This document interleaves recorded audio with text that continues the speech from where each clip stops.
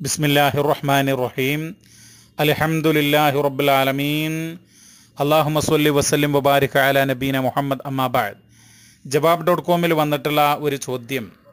രണ്ട് സുജൂതുകൾക്കിടയിൽ ചൊല്ലുന്ന പ്രാർത്ഥന സ്ഥിരപ്പെട്ട ഹദീസിൽ വന്നതാണോ എന്നുള്ളതാണ്. പ്രിയമുള്ളവരെ രണ്ട് സുജൂതുകൾക്കിടയിലുള്ള പ്രാർത്ഥനയെ സംബന്ധിച്ച് മുഹദ്ദിസുകൾ പ്രഗത്ഭന്മാരായ മുഹദ്ദിസുകൾ വളരെ ശക്തമായ നിരൂപണങ്ങൾക്ക് വിധേയമാക്കിയിട്ടുണ്ട്.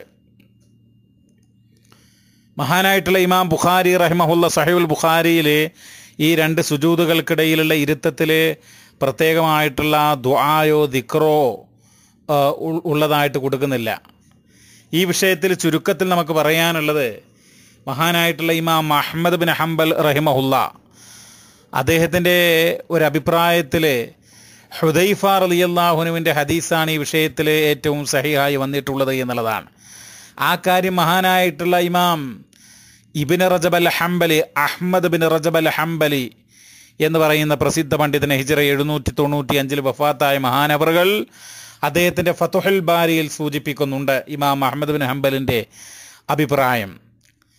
അപ്പോൾ ആ വിഷയത്തിൽ നമ്മൾ മനസ്സിലാക്കേണ്ടത് രണ്ട് സുജൂതകൾക്കിടയിലുള്ള ഇരുത്തത്തിൽ അള്ളാഹുവിന്റെ റസൂൽ റബ്യ ഗഫിർലി എന്ന് പ്രാർത്ഥിച്ചിരുന്നു എന്നതാണ് മഹാനായിട്ടുള്ള ഹുദൈഫത്ത് ബലിയമാൻ യമാൻ റലി അള്ളാഹു താലാൻഹു നിവേദനം ചെയ്യുന്ന വചനത്തിൽ നമുക്ക് കാണാൻ വേണ്ടി കഴിയുന്നത്.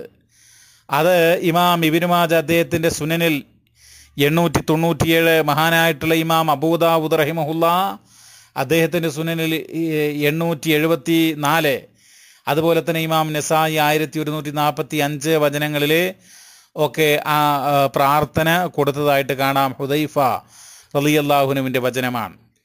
അപ്പോൾ ഇതാണ് ഇമാം ഈ ഹദീസിനെ സംബന്ധിച്ചാണ് ഇമാം അഹമ്മദ് ബിൻ ഹംബൽ റഹിമഹുല്ല ഈ വിഷയത്തിൽ വന്നിട്ടുള്ള ഏറ്റവും സഹിയായ ഹദീസ് എന്ന് പറയുന്നത്. എന്ന് മാത്രമല്ല മഹാനായിട്ടുള്ള ഇമാം ദാരമിയുടെ സുനനിൽ നമുക്ക് കാണാൻ വേണ്ടി കഴിയും ഖാന യക്കൂലു ബൈന സജസ്തൈൻ. രണ്ട് സുജൂതുകൾക്കിടയിലുള്ള ഇരുത്തത്തിൽ അള്ളാഹുവിന്റെ റസൂൽ പ്രാർത്ഥിച്ചിരുന്നു റബ്യ ഗഫുർലി എന്ന്. ആ ഹദീസിനെ സംബന്ധിച്ച് തഹക്കീക്ക് നടത്തിയിട്ടുള്ള വളരെ അവഗാഹത്തോടുകൂടെയുള്ള പഠനം നടത്തിയിട്ടുള്ള മുഹദ്ദിസുകൾ രേഖപ്പെടുത്തിയിട്ടുള്ളത് റിജാലുഹു സിക്കാത്തുൻ അതിന്റെ സനദിലുള്ള ആ, റാവികളെല്ലാം വിശ്വസ്തന്മാരാകുന്നു എന്നുള്ളതാണ്. അപ്പം അതുകൊണ്ട് തന്നെ നമുക്ക് സ്വീകരിക്കാവുന്ന പ്രാർത്ഥനയാണ് റബ്യ ഗഫുർലി എന്നുള്ളത്. ഈ റബ്യ ഗഫുർലി റബ്യ ഗഫുർലി എന്നുള്ളത് അത് രണ്ട് തവണയോ ഒരു തവണയോ രണ്ട് തവണയോ അതിലധികമൊക്കെ പ്രാർത്ഥിക്കാം എന്ന് സൂക്ഷ്മജ്ഞാനികളായിട്ടുള്ള പണ്ഡിതന്മാർ രേഖപ്പെടുത്തിയിട്ടുണ്ട്.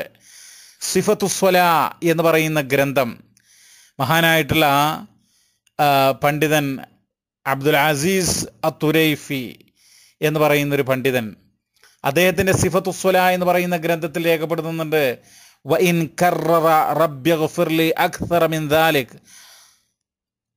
ഇവിടെ റബ്യ ഗഫിർലി എന്നുള്ളത് ഒന്നിലധികം തവണ അല്ലെങ്കിൽ ധാരാളം തവണ ആവർത്തിച്ചാലും അതിന് കുഴപ്പമില്ല.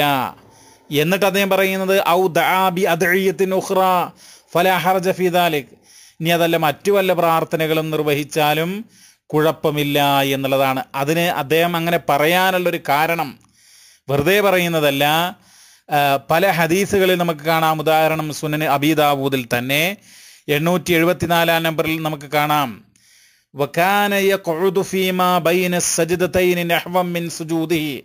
അള്ളാഹുവിന്റെ റസൂൽ സുജൂദിൽ എത്ര നേരമാണോ സുജൂദ് നിർവഹിക്കുക അത്രയും സമയം സുജൂദുകൾക്കിടയിലുള്ള ഇരുത്തത്തിനും ഉപയോഗിച്ചിരുന്നു. അത്രയും സമയം ചിലവഴിച്ചിരുന്നു എന്നുള്ള സുജൂദുകൾക്കിടയിലുള്ള ഇരുത്തത്തിനും. അപ്പോൾ അതിനെ സംബന്ധിച്ചാ പറയുന്നത് ഖാൻ യുത്തീലുമാ ബൈന സജദത്തൈൻ ആ, രണ്ട് സുജൂതുകൾക്കിടയിലുള്ള ഇരുത്ത ദൈർഘ്യമാക്കിയിരുന്നു എന്നുള്ളതാണ്. എന്ന് മാത്രമല്ല മഹാനായിട്ടുള്ള ഇമാം ഇബിൻ ഇബിനു കൈമൽ ജൗസിയ അദ്ദേഹത്തിന് സാദുൽ മഹാദിൽ അദ്ദേഹം രേഖപ്പെടുത്തുന്നുണ്ട്.